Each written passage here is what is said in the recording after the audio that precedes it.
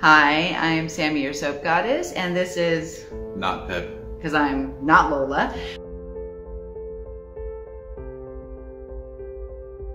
Uh, we make soap.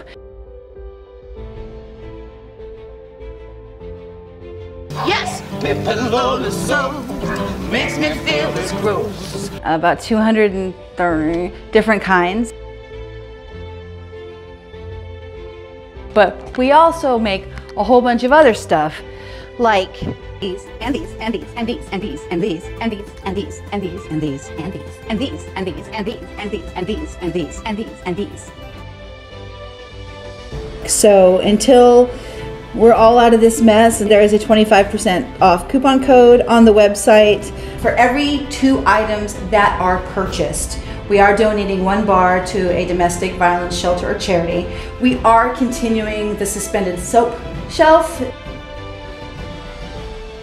We are going to then allocate those specifically to homeless shelters and food banks. We have someone coming today to pick up soap.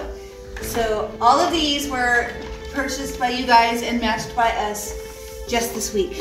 In 2020, we were able to give away 3,000 bars. Soap helps, and as long as soap continues to help, I will continue covering myself in oil and cranking it out. So, you know, like one of our goals for 2021 is to do 10,000 bars, because how cool would that be? We are going to open a second location.